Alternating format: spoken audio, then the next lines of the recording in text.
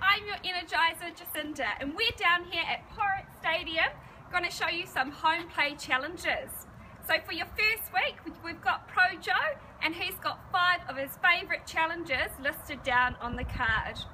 I'm going to show you how to do wall ball. So you need a ball and you can find yourself a wall. So you're just pushing the ball out and catching it again. If that's too easy for you, you can take a step back and try again.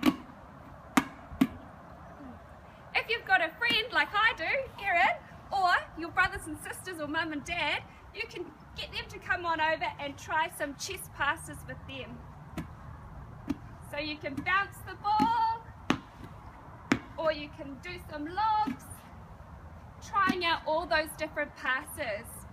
And if you're up for a real challenge, you can try wall ball with your family or friends as well.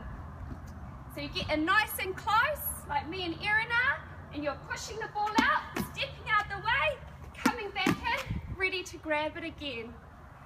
So those are the challenges for this week. Good luck, and I can't wait to see and hear how they all go.